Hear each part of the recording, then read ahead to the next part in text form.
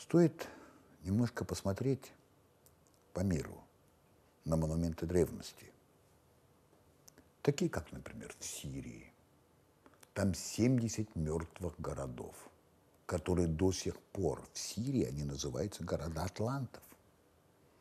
Надо посмотреть на египетские пирамиды, на Луксор, на все эти вещи, да на мексиканские пирамиды, да на те невероятные постройки в той же Греции, на тот же лабиринт Минотавра, на те же невероятные остатки городов в той же Ливии, в той же Турции, эти подземные города на Мальте и тому подобное везде и всюду по миру, ну уж не говоря о великом Бальбеке в Ливане, где находятся монументы по 2000 тонн, и только один английский кран может это приподнять.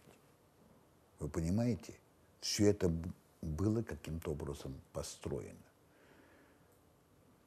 Не очень умные археологи объясняют все это тем, что древние люди вырубали каменным топором. Ну, здесь-то понимать надо. Вполне естественно. До нас была предыдущая цивилизация, Атланты, как описано во всех религиях тибетских. Там все написано прямо. И они жили в другом мире, в мире заклинаний. Вот этот мир заклинаний был, он очень силен. Это Божья энергия.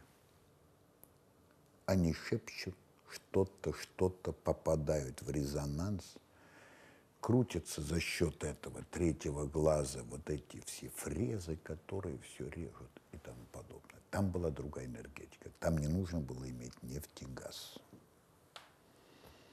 И поэтому вот в эти, этот мир заклинаний, его в какой-то степени пытались использовать умы и того же нашего НКВД, тоже гитлеровское АННРП.